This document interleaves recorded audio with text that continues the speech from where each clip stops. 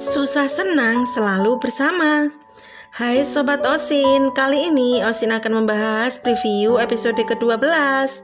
Guys, kisah Yunwo dan Hain memang bikin gemes ya, namun sedih juga romantis. Guys, setelah perceraian mereka, keduanya aslinya saling menyesal, terutama Yunwo.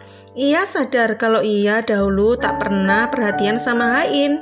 Namun begitu pula Hain, guys. Guys, karena Unsung memindahkan posisi Yunwo di Queen Group, ia malah tak sengaja menemukan titik terang di mana dana Mande disimpan. Dan guys, keluarga Hain bersama Yunwo telah bergembira menemukan keberhasilan menemukan dana itu. Di sisi lain, Unsung pun sekuat tenaga berusaha menemukan dana itu, guys. Selanjutnya, penyakit Hain yang makin menggerogoti tubuhnya, kini ia kambuh hingga halu kalau Unsung dikiranya Yunwo. Wah kasihan ya guys Hain, bisa jadi karena ini Unsung malah memanfaatkan situasi Hain yang halu. Di sini ia bertemu Hain. Unsung memperlihatkan kalung Hain yang saat kecil jatuh dan disimpan Unsung sampai sekarang. Tampaknya Unsung memberitahu masa kecil saat ia menolong Hain dari dok. Berikutnya Yunwo yang tinggal sendiri di kantor setelah perceraian itu, Hain sekarang tengah menghabiskan malam bersama Yunwo. Dan guys, keduanya saling curhat dan melepas rindu.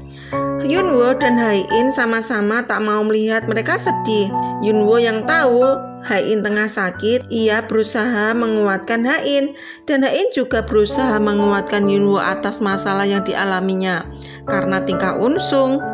Yunwo yang sangat sayang dengan Hain, ia menyembunyikan masalahnya yang kini tengah bersitekan dengan Unsung. Ia tak mau Hain makin kepikiran. Begitu sayangnya Yunwo, ia pun menyesal telah menceraikan Hain. Dan mereka pun menghabiskan malam dan tidur bersama. Sementara itu ada Bonje yang makin dekat dengan pria yang mencuri hatinya.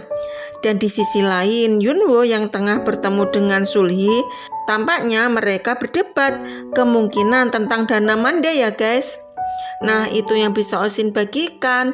Mohon maaf ya bila masih banyak kesalahan, karena ini hanya prediksi. Kamsahamnida, bye-bye.